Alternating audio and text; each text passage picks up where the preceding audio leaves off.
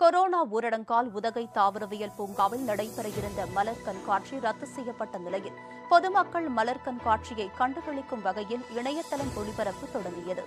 மலைகளின் அரசு என்று அழைக்கப்படும் நீலகிரி மாவட்டத்தில் ஆண்டுதோறும் கோடை சீசனை முன்னிட்டு மலர் கண்காட்சி நடத்தப்பட்டு வருகிறது. அரசு தாவரவியல் பூங்காவில் நடைபெறும் இந்த கண்காட்சியை சுமார் பத்து லட்சம் சுற்றுலா பயணிகள் கண்டு ரசிப்பது வழக்கம். ஆனால் கொரோனா ஊரடங்கு காரணமாக கடந்த ஆண்டு மலர் கண்காட்சி ரத்து செய்யப்பட்ட நிலையில் கொரோனா இரண்டாவது அலைப்பரவல் காரணமாக இந்த ஆண்டும் ரத்து செய்யப்பட்டுள்ளது. மலர் கண்காட்சிக்காக தயார் செய்யப்பட்ட முன்னூற்று எண்பத்து நான்கு வகையான ஐந்து லட்சம் மலர்கள் பூங்காவில் பூத்து குலுங்குகின்றன. அத்துடன் இரண்டாயிரத்து ஐநூறு மலர் தொட்டிகளை கொண்டு பொதுமக்கள் அனைவரும் கொரோனா தடுப்பூசி போட்டுக் கொள்ளுமாறு விழிப்புணர்வு வாசகங்களும் உருவாக்கப்பட்டுள்ளது.